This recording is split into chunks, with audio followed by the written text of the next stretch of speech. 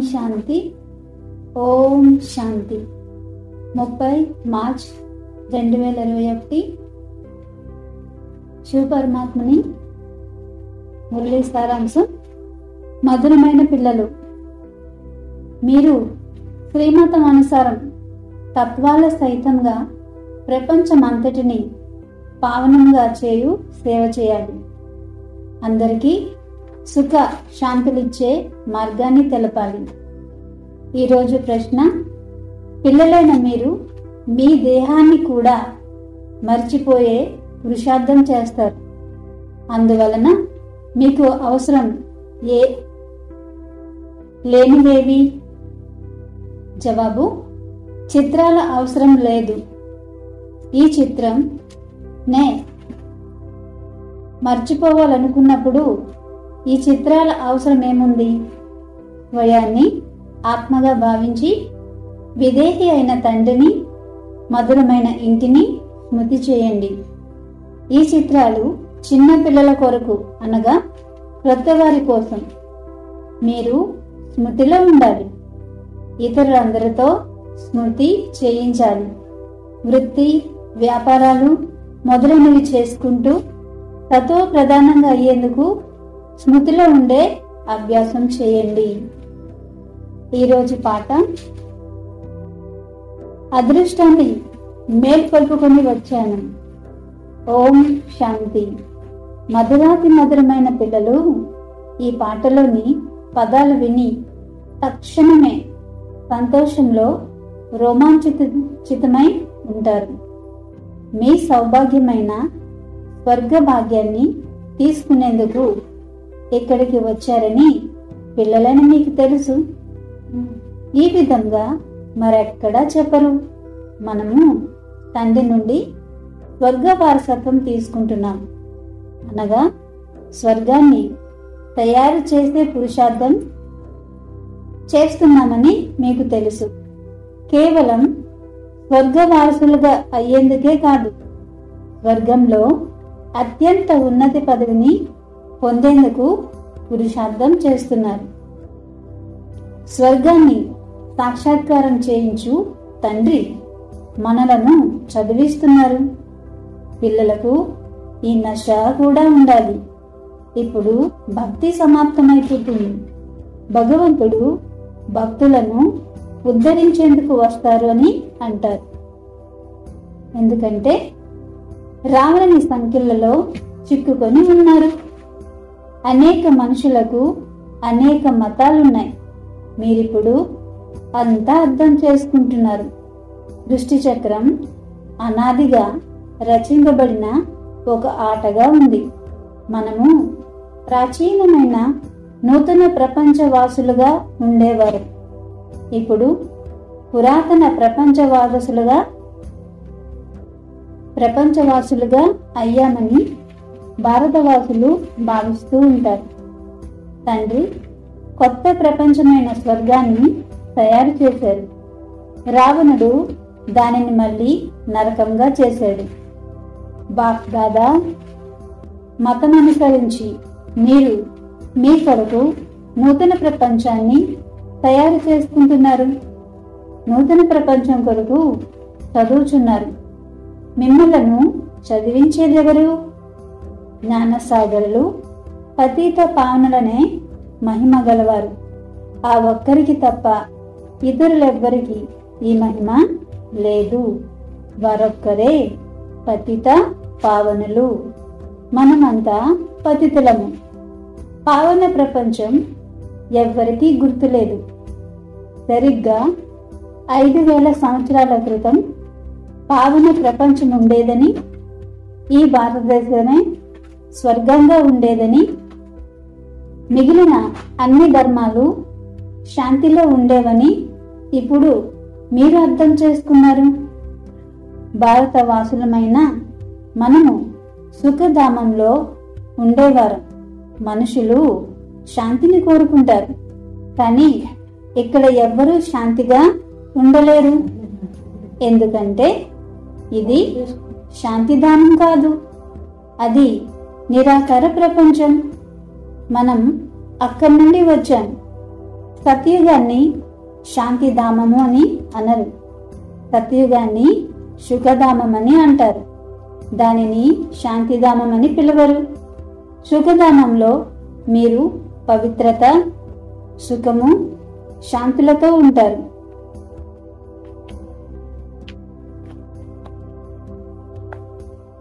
ఏ హంగామా ఉండదు. ఇంటిలో ఎవరైనా పిల్లలు జగడాలాడుతూ ఉంటే వారిని శాంతిగా ఉండమని అంటారు. తండ్రి తెలియచేస్తున్నారు ఆత్మీయులు మీరు ఆ శాంతి దేశానికి చెందినవారు. ఇప్పుడు జగడాల దేశంలో ఉన్నారు. ఈ విషయం ఈ విషయం ఇప్పుడు మీ బుద్ధిలో ఉంది. మీరు తండ్రి ద్వారా మళ్ళీ ఉన్నతోన్నతమైన పదవిని పొందేందుకు పురుషార్థం చేస్తున్నారు. ఇది చిన్న పాఠశాల కాదు. గాడ్ ఫాదర్ స్థాపించిన యూనివర్సిటీ. మొత్తం ప్రపంచమంతటిలో ఇది చాలా పెద్ద విశ్వవిద్యాలయం. ఇందులో అందరూ తండ్రి ద్వారా శాంతి సుఖాల వారసత్వాన్ని పొందుతారు. ఒక్క తండ్రి తప్ప ఇతరులెవ్వరికీ మహిమ లేనే లేదు. ఈ బ్రహ్మకు కూడా మహిమ లేదు. తండ్రి ఇప్పుడు స్వయంగా వచ్చి వారసత్వాన్ని ఇస్తున్నారు ఆ తర్వాత సుఖమే సుఖం ఉంటుంది సుఖశాంతులు ఇచ్చేవారు ఒక్క తండ్రి మాత్రమే. మహిమ అంతా కూడా తండ్రికే ఉంది. సత్యత్రేతా యుగాలలో ఎవ్వరికీ మహిమ ఉండదు. అక్కడ రాజ్యం జరుగుతూ ఉంటుంది. మీరు వారసత్వాన్ని పొందుతారు. మిగిలిన వారంతా శాంతిధామంలో ఉంటారు. ఇతరులెవరికి మహిమ లేదు. భలే! ఏస్తుక్రీస్తు ధర్మస్థాపన చేస్తారు. అలా వారు చేసే తీరాలి. ధర్మస్థాపన చేస్తారు. తర్వాత క్రిందకు దిగుతూ వస్తారు. మహిమ ఏముంది? మహిమ ఒక్కరికి మాత్రమే ఉంది. వారిని ముక్తిదాత అని పతిత పావనుడని పిలుస్తూ ఉంటారు. వారికి కూడా ఏసుక్రీస్తు బుద్ధుడు మొదలైన వారు గుర్తుకు రారు. అందరూ ఒక్కరినే ఓ గాడ్ ఫాదర్ అని స్మృతి చేస్తారు. సత్యుగంలో అయితే ఎవరిని ఎవరు మహిమ చేయరు. చివర్లో ఈ ధర్మాలు మొదలైన మొదలైనప్పుడు తండ్రి మహిమను గానం చేస్తారు. భక్తి ప్రారంభమవుతుంది. డ్రామా ఎలా తయారయ్యిందో చక్రం ఎలా తిరుగుతుందో ఈ విషయాలు తండ్రి తండ్రికి పిల్లలుగా అయిన వారికి మాత్రమే తెలుస్తుంది. తండ్రి రచయిత సృష్టికర్త నూతన సృష్టి అయిన స్వర్గాన్ని రచిస్తారు. కానీ అందరూ స్వర్గంలోకి రారు. డ్రామా రహస్యాన్ని కూడా అర్థం చేసుకోవాలి. తండ్రి ద్వారా సుఖ వారసత్వం లభిస్తుంది. ఈ సమయంలో అందరూ దుఃఖితులుగా ఉన్నారు. అందరూ వాపస్ వెళ్ళాలి. మళ్ళీ సుఖంలోకి వస్తారు. పిల్లలైన మీకు చాలా మంచి పాత్ర లభించింది. ఏ తండ్రికి ఎంత మహిమ ఉందో వారిప్పుడు వచ్చి సన్ముఖంలో కూర్చొని పిల్లలైన మీకు అర్థం తెలియచేస్తున్నారు అందరూ పిల్లలే కదా. తండ్రి సదా సంతోషంగా ఉంటారు. వాస్తవానికి తండ్రిని ఇలా అనరు. ఎందుకంటే సదా సంతోషంగా ఉంటారని చెప్తే దుఃఖీగా కూడా కావాల్సి పడుతుంది. బాబా వీటన్నిటి నుండి భిన్నమైన వారు బాబా మహిమ ఏదైతే ఉందో ఈ సమయంలో మీ అందరి మహిమ కూడా అదే. భవిష్యత్తులో మీ మహిమ వేరుగా ఉంటుంది. బాబా ఎలా జ్ఞానసాగర్లో మీరు కూడా అలాగే ఉన్నారు. మీ బుద్ధిలో సృష్టి చక్ర జ్ఞానం అంతా ఉంది. తండ్రి సుఖ సాగరులు వారి ద్వారా అనంతమైన సుఖం లభిస్తుందని మీకు తెలుసు. ఈ సమయంలో మీరు తండ్రి నుండి వారసత్వం తీసుకుంటున్నారు. తండ్రి పిల్లలకి ఇప్పుడు శ్రేష్ఠ కర్మలు నేర్పిస్తున్నారు. ఉదాహరణకి ఈ లక్ష్మీనారాయణలు ఉన్నారు. వీరు తప్పకుండా క్రిందటి జన్మలో మంచి కర్మలు చేసినందుకే ఈ పదవిని పొందుకున్నారు.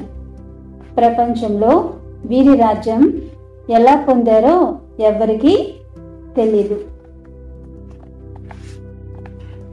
తండ్రి తెలియచేస్తున్నారు పిల్లలను మీరిప్పుడు ఈ లక్ష్మీనారాయణ లాగా తయారవుతున్నారు. ఒకప్పుడు మేము లక్ష్మీనారాయణలా ఉండేవారు. ఇప్పుడు మళ్ళీ లక్ష్మీనారాయణలా తయారవుతున్నామని మీ బుద్ధికి తోస్తుంది. తండ్రి కూర్చొని కర్మ అకర్మ వికర్మల రహస్యాన్ని అర్థం చేస్తున్నారు తద్వారా మనము వీరిలాగా తయారవుతాం. తండ్రి శ్రీమతమునిస్తున్నారు కనుక మనము దానిని బాగా అర్థం చేసుకోవాలి కదా? శ్రీమతం ద్వారా పూర్తి ప్రపంచ తత్వాలు మొదలైన వాటిని శ్రేష్టంగా తయారు చేస్తారు. సత్యుగంలో అందరూ శ్రేష్టంగా ఉండేవారు. అక్కడ ఏ హంగామాలు గలాటాలు తుఫాన్లు మొదలైనవేమీ ఉండవు. ఎక్కువగా చలిగా ఎక్కువగా వేడిగా గాని ఉండదు. సదా వసంత ఋతువే వసంత ఋతువు ఉంటుంది. అక్కడ మీరు ఎంతో సుఖంగా ఉంటారు. హుదా బహిష్ను లేక స్వర్గాన్ని హెవెన్ను స్థాపిస్తారని వారు పాడతారు కూడా. మరి అందులో శ్రేష్ఠ పదవిని పొందుకునే పురుషార్థం చేయాలి. సదా తల్లిదండ్రులను అనుసరించమనే ఇక్కడ చెప్పబడుతుంది. తండ్రిని స్మృతి చేస్తే వికర్మలన్నీ వినాశనమవుతాయి. ఆ తర్వాత తండ్రితో పాటు ఆత్మలైన మనము కలిసి వెళ్తాం. శ్రీమతమును అనుసరించి ప్రతి ఒక్కరికి మార్గాన్ని తెలియచేయాలి. బేహద్ తండ్రి స్వర్గానికి రచయిత. ఇప్పుడు ఇదంతా నరకం. తప్పకుండా నరకంలోనే స్వర్గ వారసత్వాన్ని ఇచ్చి ఉంటారు. ఇప్పుడు ఎనభై నాలుగు జన్మలు పూర్తి అవుతాయి. తర్వాత మొదటి జన్మ. స్వర్గంలో తీసుకోవాలి. మీ ముఖ్యమైన ఉద్దేశం మీ ఎదురుగానే ఉంది. మీరు ఈ లక్ష్మీనారాయణ వలె ఇలా తయారవ్వాలి. మనమే లక్ష్మీనారాయణగా అవుతాం. వాస్తవానికి ఈ చిత్రాల యొక్క ఆవశ్యకత లేదు. ఎవరు కచ్చాగా ఉన్నారో క్షణ క్షణం మర్చిపోతారో వారు చిత్రాలను దగ్గర ఉంచుకోవాలి. కొందరు శ్రీకృష్ణుని చిత్రం పెట్టుకుంటారు. శ్రీకృష్ణుని చూడకుండా స్మృతి చేయలేరు. అందరి బుద్ధిలో చిత్రమేమో ఉంటుంది. మీకు చిత్రాలు ఉంచుకునే అవసరమే లేదు. మీరు భయాన్ని ఒక ఆత్మగా భావిస్తారు. మీరు మీ చిత్రాన్ని కూడా మర్చిపోతారు. ఈ దేహం అనే చిత్రాన్ని మర్చిపోవడం జరుగుతుంది. దేహ సహితంగా సర్వ సంబంధాలను అన్నిటినీ మర్చిపోవాలి. తండ్రి తెలియచేస్తున్నారు మీరు ఒక్క ప్రియునికి ప్రేయసులయ్యారు ప్రియుడైన తండ్రి తెలియజేస్తున్నారు. నన్ను స్మృతి చేస్తే మీ వికర్మలు వినాశనమవుతాయి.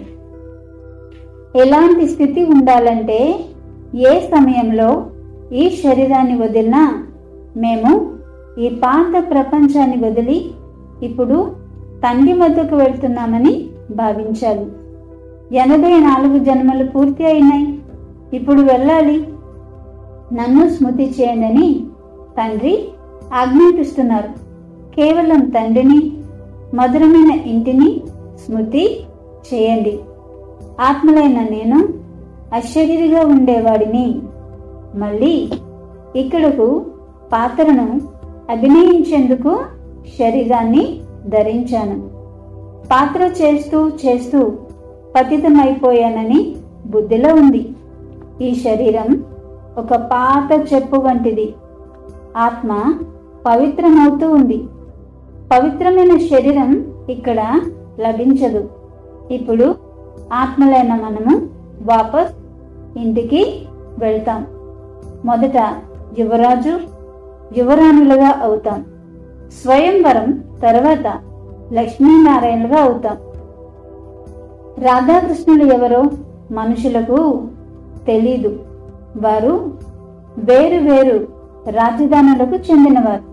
ఆ తర్వాత వారికి స్వయంవరం జరుగుతుంది.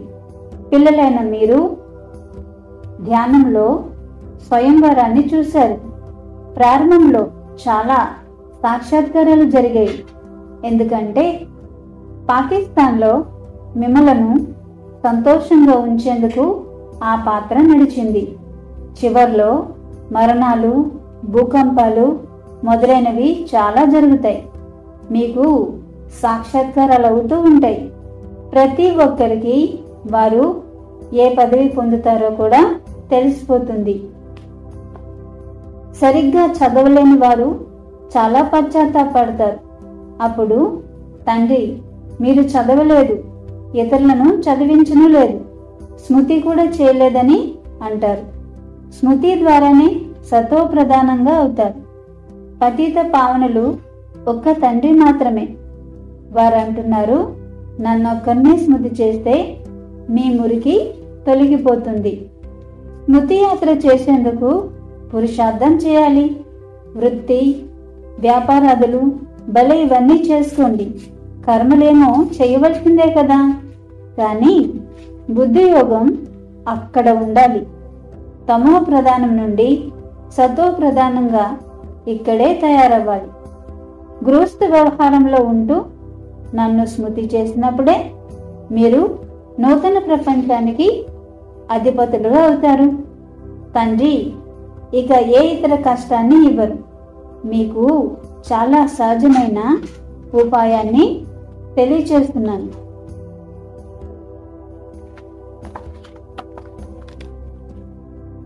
సుఖదానానికి అధిపతులుగా అయ్యేందుకు నన్నొక్కనే స్మృతి చేయండి. తండ్రి కూడా ఒక నక్షత్రమే. వారు సర్వశక్తివంతులు. చాలా తేజోమయంగా ఉంటారని మనుషులు భావిస్తారు. తండ్రి తెలియచేస్తున్నారు. నేను మనుష్య సృష్టికి చైతన్య బీజ రూపాన్ని బీజమైనందున సృష్టి ఆది మధ్యాంతాలు నాకు తెలుసు. మీరు బీజం కాదు నేను బీజమును. అందుకే నన్ను జ్ఞానసాగరుడు అని అంటారు. మానవ సృష్టికి చైతన్య బీజమైనందున వారికి ఈ సృష్టి చక్రం ఎలా తిరుగుతుందో తెలుసు. ఋషులు మును మునులు ఎవరికీ కూడా రచయిత గురించి వారి రచనల యొక్క ఆది మధ్యాంతాల గురించి తెలియదు. పిల్లలకు తెలిస్తే వారు తండ్రి వద్దకు వెళ్ళేందుకు ఆలస్యమే చేయరు. కానీ తండ్రి వద్దకు వెళ్ళే మార్గం ఎవ్వరికీ తెలియదు ప- పవిత్ర ప్రపంచంలోకి పతితులు ఎలా వెళ్ళగలరు? అందువలన తండ్రి అంటున్నారు కామం మహాశత్రు దానిపై విజయాన్ని పొందండి. ఇదే మీకు ఆది మధ్యాంతాలు దుఃఖం ఇస్తూ ఉంది. పిల్లలైన మీకు చాలా బాగా అర్థం చేస్తున్నాను. ఎలాంటి కష్టమూ లేదు. కేవలం తండ్రిని మరియు వారసత్వాన్ని స్మృతి చేయటం. తండ్రి స్మృతి అనగా యోగం ద్వారా పాపాలు భస్మమవుతాయి. సెకండ్లో తండ్రి ద్వారానే చక్రవర్తి పదవి లభిస్తుంది. పిల్లలు స్వర్గంలోకేమో వస్తారు. కానీ స్వర్గంలో కూడా ఉన్నతమైన పదవిని పొందేందుకు పురుషార్థం చేయాలి. స్వర్గంలోకి ఎలాగైనా వెళ్తారు. కొద్దిగా విన్నా తండ్రి ఈ భూమిపైకి వచ్చారని అర్థం చేసుకుంటారు. ఇది అదే ఆ మహాభారత యుద్ధమని ఇప్పుడు కూడా అంటూ ఉంటారు. పిల్లలకు రాజ్యోగాన్ని నేర్పించే ఆ తండ్రి కూడా తప్పకుండా ఉండే ఉంటారు. మీరు అందరినీ మేలుకొలుపుతూ ఉంటారు. ఎక్కువ మందిని మేలుకొలుపుతారు. ఉన్నత పదవిని పొందుతారు. పురుషార్థం చేయాలి. అందరూ ఒకే విధంగా పురుషార్థం చేయలేరు. ఈ పాఠశాల చాలా గొప్పది. ఇది వరల్డ్ యూనివర్సిటీ. ఈ ప్రపంచమంతటిని సుఖధామంగా శాంతిధామంగా తయారు చేయాలి. ఇటువంటి టీచరు ఎక్కడైనా ఎప్పుడైనా ఉంటారా? యూనివర్స్ అనగా మొత్తం ప్రపంచం. ఆ తండ్రే ప్రపంచంలోని మనుష్యులందరినీ సతో ప్రధానంగా తయారు చేస్తారు. అనగా స్వర్గాన్ని తయారు చేస్తారు. భక్తి మార్గంలో చేసే పండగలన్నీ ఈ సంగమ యుగంలోనివే. సత్య త్రేతాయుగాలలో పండగలేవి ఉండవు. అక్కడ ప్రాలబ్ధాన్ని అనుభవిస్తూ ఉంటారు. పండగలన్నీ ఇక్కడే జరుపుకుంటారు. హోలీ దూరియా పండగలు ఈ జ్ఞానానికి సంబంధించినవే. జరిగిపోయిన వాటిని పండుగలుగా చేసుకుంటూ వచ్చారు. అవన్నీ ఈ సమయానికి చెందినవే. హోలీ కూడా ఇప్పటిదే. ఈ వంద సంవత్సరాల లోపల అన్ని పనులు జరిగిపోతాయి. దృష్టి కూడా కొత్తదిగా తయారవుతుంది. మనము అనేకసార్లు సుఖ వారసత్వం తీసుకొని మళ్ళీ పోగొట్టుకున్నామని మీకు తెలుసు. మనము మళ్ళీ తండ్రి నుండి వారసత్వం తీసుకుంటున్నామని సంతోషం కలుగుతుంది. ఇతరులకు కూడా మార్గాన్ని చూపించాలి. డ్రామానుసారం స్వర్గస్థాపన తప్పకుండా జరుగుతుంది. ఎలాగైతే పగలు తర్వాత రాత్రి రాత్రి తర్వాత పగలు తప్పకుండా వస్తూ ఉంటాయో? అదే విధంగా కలియుగం తర్వాత తప్పకుండా సత్యుగం వచ్చి తీరాలి. మధురాతి మధురమైన పిల్లలు బుద్ధిలో సంతోషపు డంక డంకాలు మ్రొగుతూ ఉండాలి. ఇప్పుడు సమయం పూర్తి అవుతుంది. మనం మన శాంతిధామానికి వెళ్ళిపోతున్నాం. ఇది అంతిమ జన్మ. సంతోషంలో కర్మభోగం కూడా తేలికగా అయిపోతుంది. కొన్ని అనుభవించడం ద్వారా కొన్ని యోగ బలం ద్వారా కొన్ని లెక్కాచారాన్ని చుప్తా చేసుకోవాలి. తండ్రి పిల్లలైన మనకు ధైర్యం ఇస్తున్నారు. మీరు సదా సుఖపడే రోజులు వస్తున్నాయి. వృత్తి వ్యాపారాలన్నీ చేసుకోవాల్సిందే. శరీర నిర్వహణార్థం ధనం కావాలి కదా? బాబా తెలియచేస్తున్నారు. వ్యాపారస్తులు ధర్మ కార్యం కొరకు కొంత ధనము కేటాయిస్తారు. అది ఎక్కువగా జమ అయినప్పుడు దానిని దానం చేస్తామని అనుకుంటారు. ఇక్కడ కూడా తండ్రి మీకు అర్థం చేస్తున్నారు. ఎవరైనా రెండు పైసలు ఇచ్చినా దానికి బదులు వారికి నేను ఇరవై ఒక్క జన్మలకు చాలా ఎక్కువగా లభిస్తుంది. ఇంతకు ముందు మీరు దాన పుణ్యాలు చేసిన దానికి ఫలితం మరుసటి జన్మలో లభించేది. ఇప్పుడు ఇరవై ఒక్క జన్మలకు ఫలితం లభిస్తుంది. ఇంతకు ముందు సాధువులు సన్యాసులు మొదలైన వారికి దానంతో దానం ఇచ్చేవారు ఇప్పుడు ఇదంతా అంతం కానున్నది. మీకు తెలుసు. ఇప్పుడు నేను మీ సన్ముఖంలో వచ్చి కూర్చున్నాను. కాబట్టి ఈ కార్యంలో దీనిని ఉపయోగించండి. తద్వారా మీకు ఇరవై ఒక్క జన్మలకు వారసత్వం లభిస్తుంది. ఇంతకుముందు మీరు పరోక్షంగా దానమిచ్చేవారు. ఇప్పుడిగా ఈశ్వరుడు ప్రత్యక్షంగా మీ ముందు ఉన్నారు. మీరు ప్రత్యక్షంగా ఇస్తారు. మిగిలినదంతా సమాప్తమే అయిపోతుంది. ధనం ఉంటే సేవా కేంద్రాలు తెరుస్తూ ఉండండి. సత్యమైన గీతా పాఠశాల అని వ్రాయమని తండ్రి తెలియచేస్తున్నారు. భగవాన్ వాచ నన్నొక్కరిని స్మృతి చేయండి. మామేకం యాద్ కరో. వారసత్వాన్ని స్మృతి చేయండి. అచ్చా!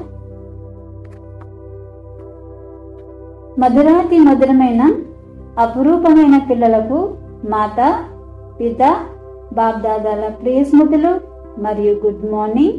ఆత్మిక పిల్లలకు ఆత్మిక తండ్రి నమస్తే. ఆత్మిక తండ్రికి ఆత్మిక పిల్లల యొక్క ప్రియ స్మృతులు గుడ్ మార్నింగ్ నమస్తే నమస్తే నమస్తే. ఈరోజు ధారణ కొరకు ముఖ్య సారం ఒకటి. తండ్రి సమానంగా మహిమాయోగ్యులుగా అయ్యేందుకు తండ్రిని అనుసరించాలి. రెండు. ఇది అంతిమ జన్మ. ఇప్పుడు ఇంటికి వెళ్ళాలి. కనుక లోపల సంతోషపు డంకాలు మ్రోగుతూ ఉండాలి. కర్మ భోగాన్ని కర్మయోగంతో అనగా తండ్రి స్మృతితో సంతోషంగా సమాప్తం చేసుకోవాలి. ఈరోజు వరదానం మీ స్మృతి అనే జ్యోతి ద్వారా బ్రాహ్మణ కుల పేరును ప్రకాశవంతంగా చేసే కుల దీపక్ భవ. మీ స్మృతి అనే జ్యోతి ద్వారా బ్రాహ్మణ కుల పేరును ప్రకాశవంతం చేసే కుల దీపక్ భవ. ఈ బ్రాహ్మణ కులం అన్నిటికంటే గొప్పది. ఈ కులానికి మీరంతా దీపాలు కుల దీపకులు అనగా సదా తమ స్మృతి అనే జ్యోతి ద్వారా బ్రాహ్మణ కులం పేరును ప్రకాశవంతం చేసేవారు. అఖండ జ్యోతి అనగా సదా స్మృతి స్వరూపులు మరియు సమర్థ స్వరూపులు. నేను మాస్టర్ సర్వశక్తివాన్ ఆత్మను. అనే స్మృతి ఉంటే స్వతహాగా సమర్థ స్వరూపులుగా అవుతారు. ఈ అఖండ జ్యోతికి స్మృతి చిహ్నంగా మీ జడ చిత్రాల ముందు అఖండ జ్యోతిని వెలిగిస్తారు. ఈరోజు స్లోగన్ ఎవరైతే సర్వ ఆత్మల పట్ల శుద్ధ సంకల్పం ఉంచుతారో వారే వరదాని మూర్తులు. ఎవరైతే సర్వ ఆత్మల పట్ల శుద్ధ సంకల్పం ఉంచుతారో వారే వరదాని మూర్తులు. ఓం శాంతి.